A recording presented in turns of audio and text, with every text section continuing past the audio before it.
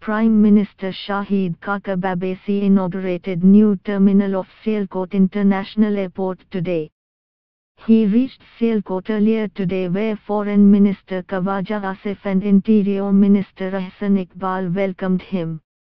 While addressing the ceremony, Prime Minister said that such projects are part of Nawaz Sharif's vision.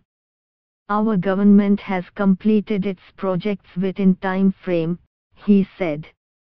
The Premier stated that PMLN will continue to complete such mega projects.